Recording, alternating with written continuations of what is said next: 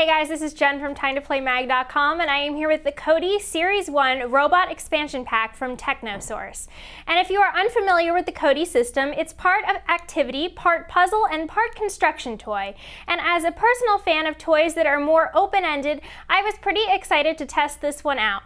The set comes with more than 250 links and more than 25 accessories to create your own robots. This series comes with instructions or codes to create eight different robots, and each set of instructions tells you how many links of each color you'll need to get started.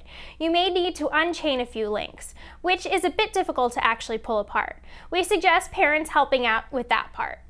Then it's time to get snapping, and you'll begin by straightening out the colored links and into one chain.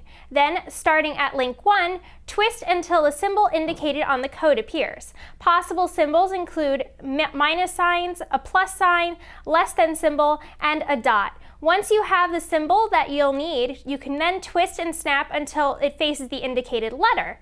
Then move on to the next link. When you come to the end of a chain, you'll have a shape that when combined with another Codee link chain creates your robot. For extra support, you can also add connectors to hold the chains together better and add accessories to bring your robot to life. The accessories are not easy to snap into place either. One thing we found when chaining your links is that when you are working a part of the links that are grouped together tightly, you may need to move ahead to the next link to fit other links in the proper place. And sometimes you may find some of the links have moved around a bit once you're building. When you're finished, if anything looks out of place, we suggest going back and double checking that your links haven't moved and that the codes are correct.